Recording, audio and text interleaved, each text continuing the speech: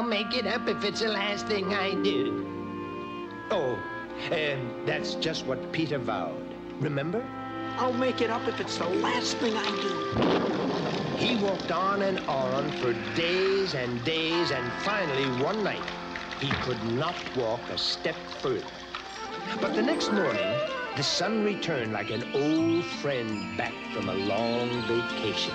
And its very first rays tickled Peter's nose and awakened him. And that's when I came into the story. Uh, beg pardon, Peter. Uh huh?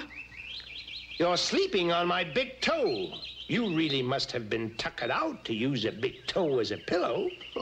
Gee, I'm sorry, Mr. Sassafrass. well, that's all right. It's my pleasure, Peter. Well, rather my big toe's pleasure. Where are we? In my garden. This is the Garden of Surprises where I grow all the vegetables I use to make the pretty colors. it's kind of magical if I do say so my magical self. See? See right over there. There's red, white, and blue cabbages as big as houses, and purple corn stalks as tall as church steeples, striped tomatoes, and orange string beans. Why do you call it the Garden of Surprises? Everybody asks that question. And I answer, why not call it the Garden of Surprises? I mean, I never know what's coming up. Sometimes I plant beans and roses surprise me. Why, once I planted pumpkins. And do you know what came up? Huh? Uh, no, what?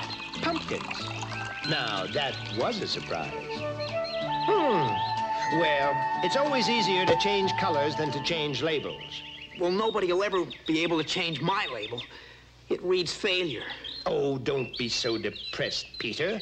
When you are depressed, it gets to be very de depressing. but Easter's all over and I lost. Easter over? Ah, nothing's ever really all over, Peter.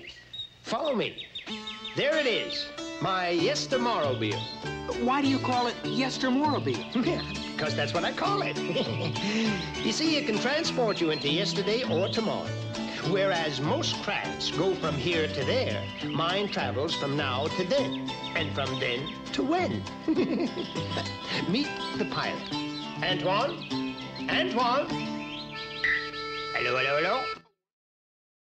Pardon, monsieur. I hold the rank of... We've got our first passenger, Antoine. His name is Peter Cottontail. Now show him how it all works. Oui, of course, I will do that with pleasure. You will notice, Pierre, the many switches and buttons and knobs. Eh? They're beautiful, eh? They are labeled Le Futur and Le Past.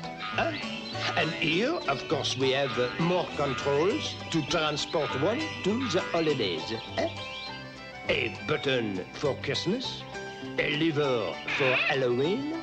So, Thanksgiving, Mother's Day, St. Patrick's Day, Valentine's Day, Arbor Day, and this pretty one for Easter. Hey, I get it. All I have to do is hop into the basket and have you take me back to Easter. That's correct. Then you can deliver your eggs as you should have done in the first place. Win the contest and toss old Irontail out. Let's go. To Easter, Antoine. Of course, oui, certainement, Pierre.